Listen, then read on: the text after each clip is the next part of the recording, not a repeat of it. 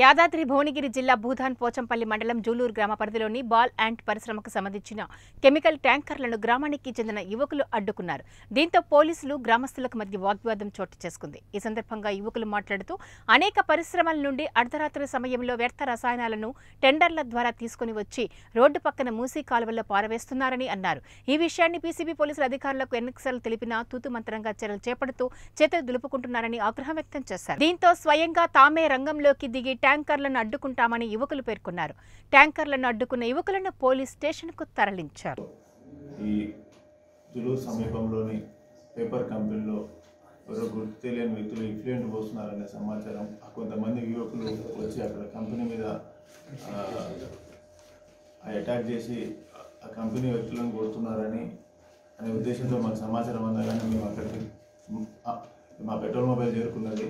అక్కడ అక్కడ యువకులు చెప్పింది ఏంటంటే సార్ ఇక్కడ ఐఫ్లియంట్ వస్తున్నది మీరు పట్టుకోండి సార్ అని అంటే మా మా పెట్రోల్ మొబైల్ సిబ్బంది అక్కడికి వెళ్ళి అది విచారణ చేస్తే అది దాంట్లో ఉన్నది కెమికలా లేకపోతే ఐఫ్లియంట్ అనేది తెలియలేదు. మేము ఆ పిసి వాళ్ళకి ఇన్ఫామ్ చేసినాము.